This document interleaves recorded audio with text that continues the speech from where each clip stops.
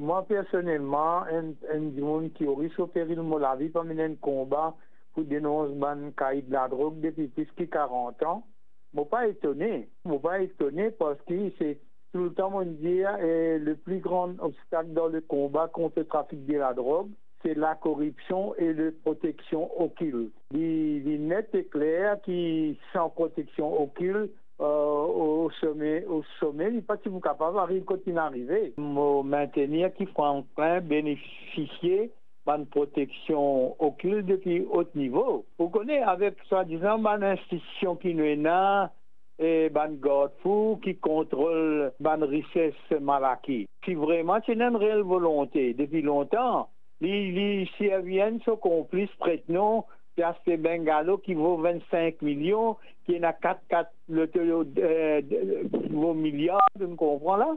Que cette institution-là. Pour moi, c'est qui enclin avec ce, réseau-là, et dans ces institutions, dans ce ban complice.